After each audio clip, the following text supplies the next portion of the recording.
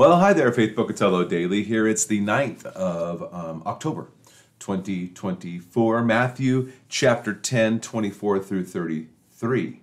Or let's do 26 through 33. So have no fear of them, for nothing is covered that will not be revealed, or hidden that will be not be made known. What I tell you in the dark, say in the light, and what you hear whispered, proclaim on the housetops. And do not fear those who kill the body, but cannot kill the soul Rather, fear him who can destroy both soul and body in hell. Are not two sparrows sold for a penny? And not one of them will fall to the ground apart from your Father.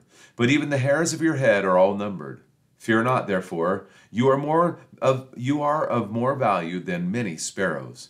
So everyone who acknowledges me before men, I will also acknowledge before my Father who is in heaven.